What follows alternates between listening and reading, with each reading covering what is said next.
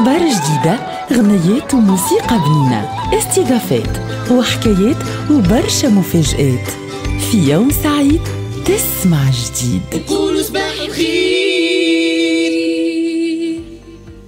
نجد تحية لكل مستمعي الإذاعة الوطنية التونسية. مرة أخرى نقول لكم صباح الخير. أنتم اللي حليتوا توا الراديو لقيتوا رواحكم معنا. نحن من الستة متاع الصباح هوني في يوم سعيد. أعطيناكم برشا معلومات من اللي بدينا توا وأعطيناكم زادة آه، بعض الأحداث اللي قاعدة تصير في بلادنا بين البارح واليوم. وقلنا لكم اللي عندنا سؤال مسابقة. الجائزة 100 دينار الهدية متاع الإذاعة الوطنية هي 100 دينار نقدا للي مش يقول لنا. وقتاش انطلقت المرحلة التمهيدية للتعداد العام للسكان والسكنة لسنة 2024 وقتاش انطلقت المرحلة التمهيدية للتعداد العام للسكان والسكنة لسنة 2024 قولوا لنا اكتبوا لنا على ال page officielle للإذاعة الوطنية.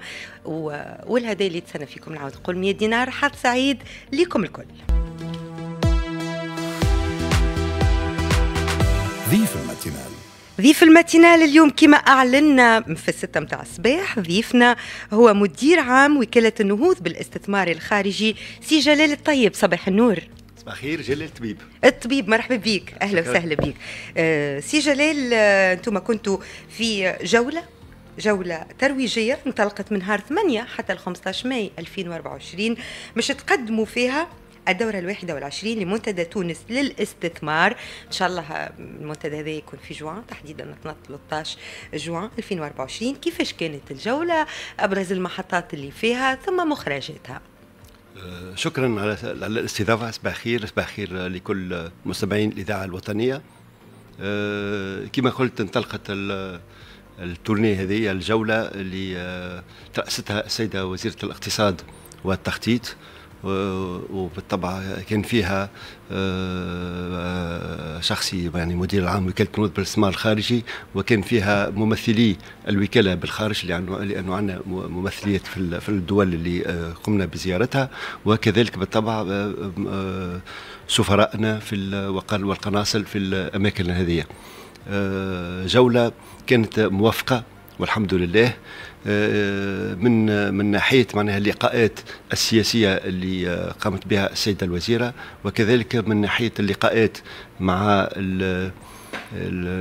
معناها الممثليات لل- للشركات والهيئات آه، والغرف المشتركة وكذلك اللقاءات مع المستثمرين آه، الأجانب وكذلك المرة هذه آه، قمنا بزيارة آه، التونسيين. بالخارج وسيما التونسيين اللي نجحوا في عديد من الشركات تو نحكيو عليها من بعد. آه، سي جلال الجولة متاعكم كانت آه، في مجموعة من البلدان المدن الأوروبية مونيخ مدريد بروكسل باريس آه، ليون روما لقاءات هذه نعم. عما أسفرت. باش رجعنا بعد اللقاءات إضافة للترويج بالطبيعة للمنتدى. هو مش شوية الترويج آه، أهم حاجة لأنه إحنا من خلال الزيارة هذه عندنا معناها آه، le message اللي نحب نوصلوه اللي تونس راهي تستقطب الاستثمارات وراهي تونس تخدم وراهي ال ال تونس رجعت معناها آه، كوجهه لاستقطاب الاستثمارات في في الجهة في في البحر المتوسط. آه، هي جولة للتعريف بموقع تونس الاستثماري ولتعطي رسالة تط- طمأنة لكل المستثمرين اللي موجودين في تونس وكذلك للمستثمرين اللي يحبوا يجيوا لتونس. طبعا النتائج نتاعها هناك نتائج آنية وهناك تأكيدات لعمليه الاستثمارات وأنا هذه إن شاء الله أكيد أكيدة. شنو القطاع ولكن- الواعدة في تونس ولكن اللي يحبوا هي كذلك يستثمروا حتى فيها؟ نوايا نتاع استثمار. شنو هو أبرز القطاع اللي لاحظته اللي ال- المستثمر الأجنبي يحب ي- آه، يستثمر فيها طبعا في تونس. هناك القطاعات اللي تونس عندها فيها مميزات معناها آه، تقليدية هي مكونات السيارات. آه، نشوفوا اللي تونس ديما تحافظ على الاهتمام في المجال هذايا. وعديد من المستثمرين آه، في ألمانيا مثلا في إيطاليا في فرنسا أبدأوا الرغبة وأكدوا حضورهم للمنتدى من جهة وكذلك حضورهم لاستكشاف الإمكانيات والفرص للاستثمار في تونس. وكذلك هناك الطاقات المتجددة اللي أصبحت الآن باعتبار الإشكاليات نتاع الطاقة ولات تونس معناها تستقطب العديد من المؤسسات في المجال هذا. تم الحديث أيضا على إصلاحات الحكومة في مجال الاستثمار. آه، شنو أبرز الإصلاحات اللي آه، نوعدوا بها المستثمر واللي في المستقبل إن شاء الله مش تسهل؟ تركيز المشاريع وخلق فرص العمل للتوانسه وما حظ خاصة الجهات الداخلية من فرص الاستثمار الخارجي. نعم. هي طبعا الزيارة هذه ومن خلالها المنتدى تونس للاستثمار نحبوا نعطيو كما قلنا رسالة اللي الجهات التونسية الرسمية عفوا قاعدة معناها تحسن في مناخ الاستثمار وقاعدة تاخذ بالاعتبارات لكل المتطلبات لإرساء نظام معناها آه، قانوني يتماشى مع متطلبات المستثمرين. وطبعا هذايا ما ينجم يكون كان من خلال تشريعات آه، يتم معناها تغييرها وتنقيحها كلما بالطبع دعت ضرورة لذلك. ومن أبرز هذه الإصلاحات اللي أنتم أكيد تسمعوا بها هي اللي على الطاولة توا اللي هي آه، يعني تنقيح مجلة الصرف اللي مشات شوط كبير معناها في جلسة عمل الوزارية وكذلك قانون يعني l'économie numérique قانون اللي باش يعطي دفع لل start-up باش يعطي دفع معناها للمنشآت الناشئة في تونس. الخدمات ورقمنة الخدمات وتسهيلها وين وصلنا خاصة في مجال الرقمنة اللي هي من المعطيات الهامة لتشجيع المستثمرين؟ آه، تونس معناها آه، مشات مرحلة باهية في آه، رقمنة بعث المؤسسات يعني المسار للمستثمر لما باش يبعث المؤسسة نتاعو آه، فكل المسار المسار هذايا مرقما و آه، آه، في معناها ليرينو في السجل التجاري معناها للشركات وإلا في مصالح الوكالة العقارية للصناعة والتجديد هل ولا في الهيئة التونسية للاستثمار. هذايا المسار الكله معناها تونس قطعت فيه شوط باهي ومن قبل. اللي مازال توا هو رقمنة المسار الكامل للمستثمر.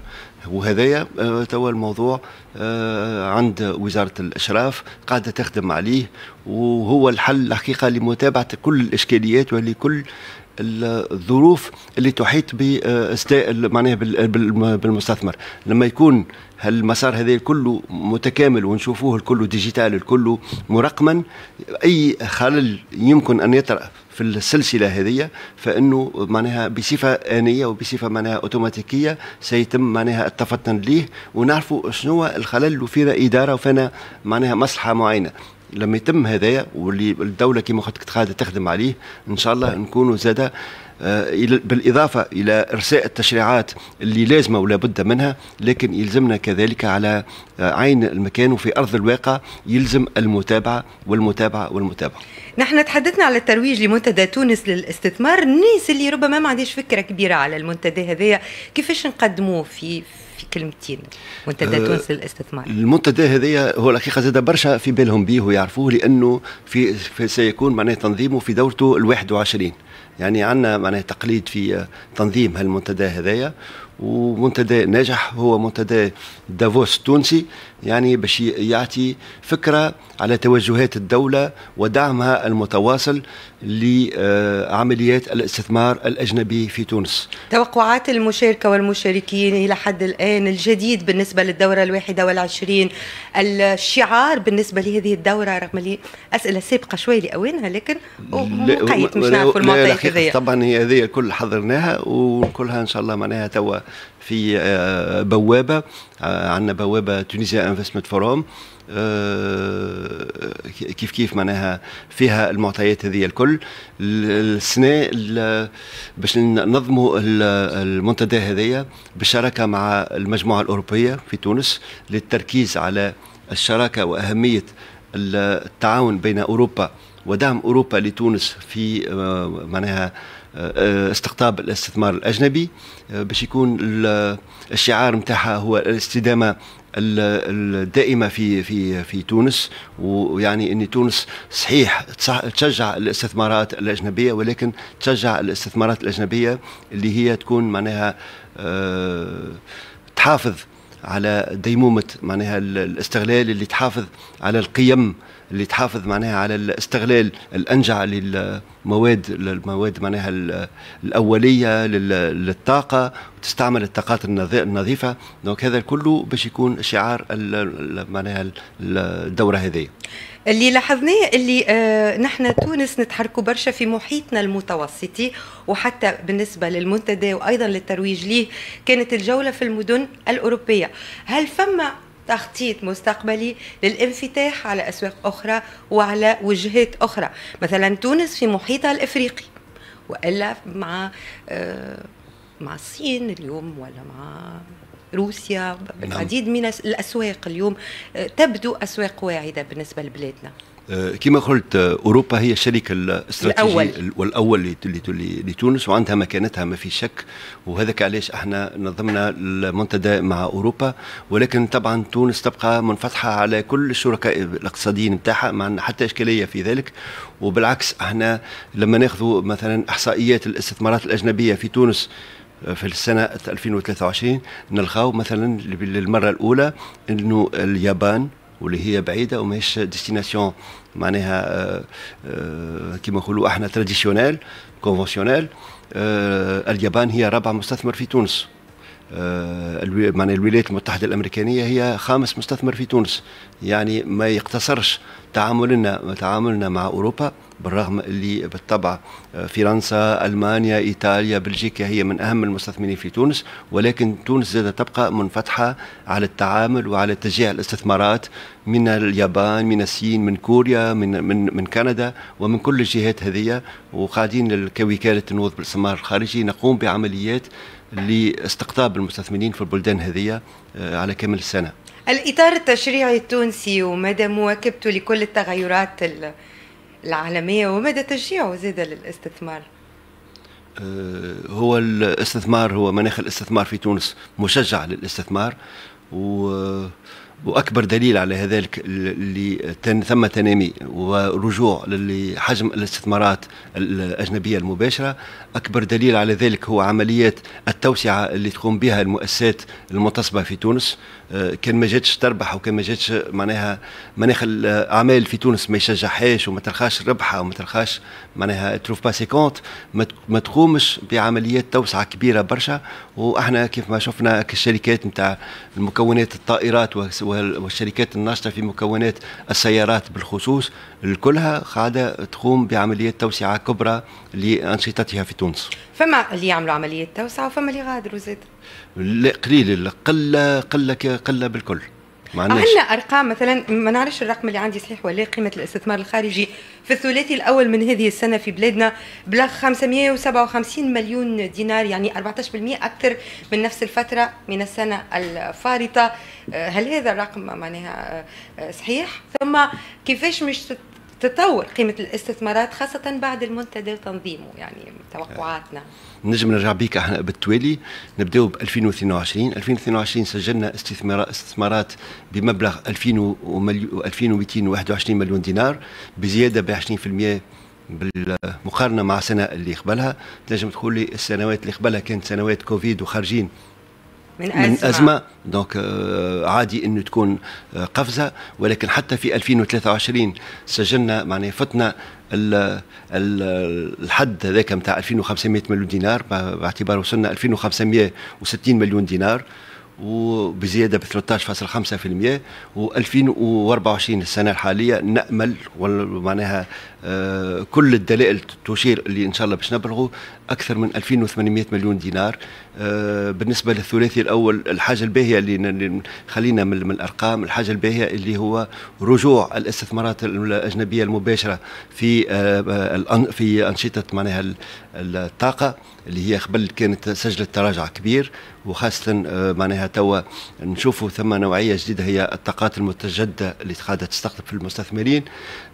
نشوفوا كذلك اللي تنامي الاستثمارات في آه، قطاعات الصناعة الصناعة آه، الصناعة هي أكثر معناها مجال اللي يخدم ويعطي معناها آه، إمكانيات بعث مواطن شغل بالخصوص لحاملي الشهادات العليا للمهندسين التونسيين للمانجر للمتصرفين للتكنيسيان للتقنيين معناها وغيره.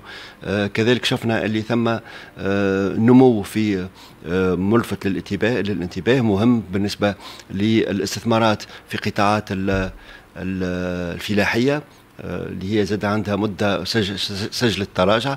آه، معناها الحصيلة هي معناها آه، طيبة وإن شاء الله نأمل معناها بعد المنتدى هذايا تزيد تتأكد الصورة هذه. القادم أجمل إن شاء الله. آخر سؤال سي جلال الطبيب مدير عام وكالة النهوض بالاستثمار الخارجي، ما تراش معنا اللي الاستثمار الخارجي مش مربوط فقط بوزارة الاقتصاد والتخطيط ولا بالوكالة نتاعكم وإنما الأطراف الكل متدخلة فيه لأنه رغم اللي بلادنا فيها مميزات عديدة. من مناخها لموقعها لصغر المساحة متاعها لتوفر الخيرات الكل. أيضا الرقمنة متقدمين على بلدان عربية أخرى إطارنا التشريعي قاعد يتحسن فما إصلاحات قاعدة تقوم بها الحكومة. لكن في نفس الوقت فما مشكلة في المناخ الاجتماعي في النقل في النظافة. هذا الكل مهم ولا لا؟ ما في شك. لما مستثمر يجي يستثمر في بلاد ماهوش باش ياخذ برك معناها القوانين والتشريعات اللي هي تبقى معناها حبر على ورق. لا هو باش يشوف في الواقع كيفاش يتجسد هذاك. ومنذ معناها من اللي يوصل في المطار ويشوف وقتاش باش تخرج الفيزا نتاعو كيفاش باش يخرج شنو هي الخدمات اللي باش يلقاها شنو هي الاستقبال نتاعو في الإدارات المعنية بالاستثمار نتاعو آه، شنو هي معناها البلاد في النظافة نتاعها في بعد يشوف ياخذ فكرة في ال logistique شنو معناها التوقيت وقداش الزمن اللي يستغرقوا تفريغ الحمولة في في الميناء شنو les possibilités les connexions مع الدول المجاورة. هذه كلها أحنا نقولوا c'est un écosystème يعني المستثمر ماهوش يشوف شنو الخدمات اللي تقوم بها وزارة الاقتصاد ولا الخدمات اللي تقوم بها وكالة نهوض بالاستثمار الخارجي. ولو إحنا لما يجينا المستثمر نقوموا بمرافقة معناها مقبولة وطيبة للمستثمر هذايا ولكن يدخل في الاعتبار كل العناصر هذه اللي يشوفها الزائر لتونس. وهذاك علاش يلزمنا نفهموا اللي الاستثمار الأجنبي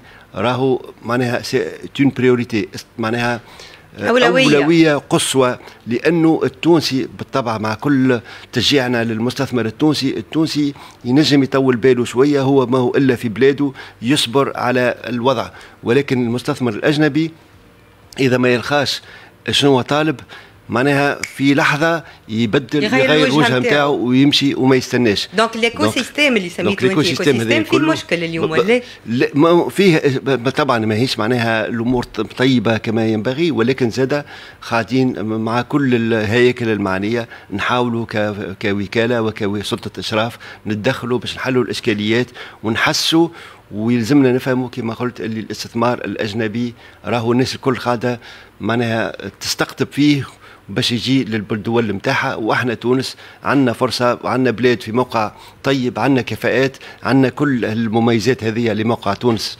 الاستثماري يلزمنا نحافظوا عليها ونزيدوا نسهلوا للمستثمر الأجنبي. عندنا رقم قديش من موطن شغل مش الناس تفهم أهمية الاستثمار الأجنبي في بلادنا، قد من موطن شغل التوانسة يوفروا سنويا مثلا آه، عم ناول في 2023 الاستثمار الأجنبي المباشر آه، اعطى الفرصة ل 14500 تونسي باش يخدموا.